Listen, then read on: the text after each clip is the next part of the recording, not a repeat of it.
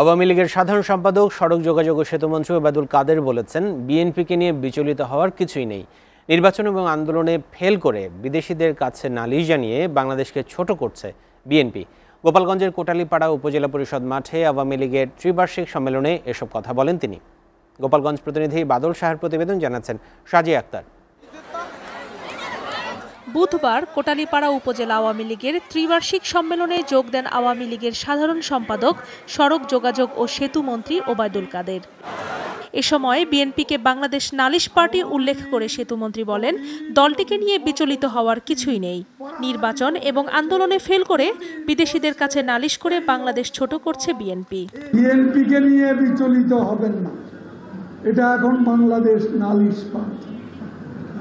BNP Bangladesh নালিশ party বিদেশিদের কাছে নালিশ করে বিএনপি এখন বাংলাদেশকে খাটো করছে।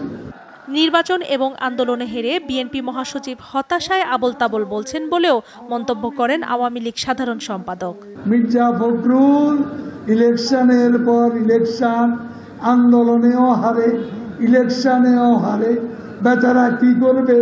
হতাশায় আবল তাবল বলতে বিএনপির আন্দোলনের মারা গাঙ্গে জোয়ার আসে আওয়ামী লীগের দুর্দিনের ত্যাগী ও পরীক্ষিত কর্মীরাই নেতা হবেন। কোনো হাইব্রিড নেতা হতে পারবে না বলেও জানান ওবায়দুল কাদের। ত্যাগী কর্মীরা কোন ঠাসা হলে আওয়ামী লীগ কোন ঠাসা হয়ে যাবে? ACTV news desk.